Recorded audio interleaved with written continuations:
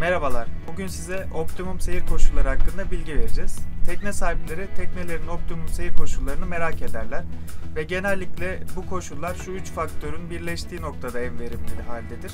Bu faktörler e, hız, yakıt verimliliği ve düşük aşınma hızıdır.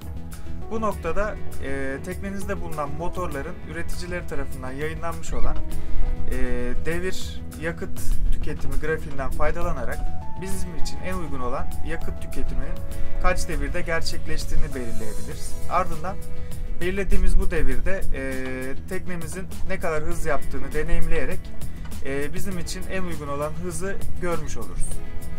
Aşınma hızı açısındansa modern marin motorları yüksek devirlerde yüksek hızlarda çalışmak için üretilmişlerdir. Maksimum devirlerde e, uzun süreli çalışabilirler. Ancak bu tip çalışma şekli makinelerin içerisindeki aşınma hızını arttıracaklardır.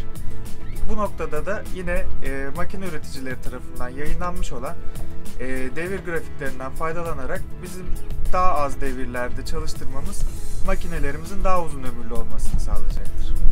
Dizel motorlar benzinli motorlara göre daha düşük devirlerde çalıştığından dolayı aşınma hızları da daha düşüktür. Bu faktör göz önünde bulundurulduğunda e, dizel motorlar benzinli motorlara göre daha avantajlıdırlar. Optimum seyir koşulları belirttiğimiz bu üç faktörden oluşmaktadır. E, tabii ki sizin koşullarınıza göre değişebilmektedir. Örneğin sizin için e, yakıt verimliliği çok da önemli değilse sizin seyir koşullarınızda hızınızı daha yüksek seçebilirsiniz.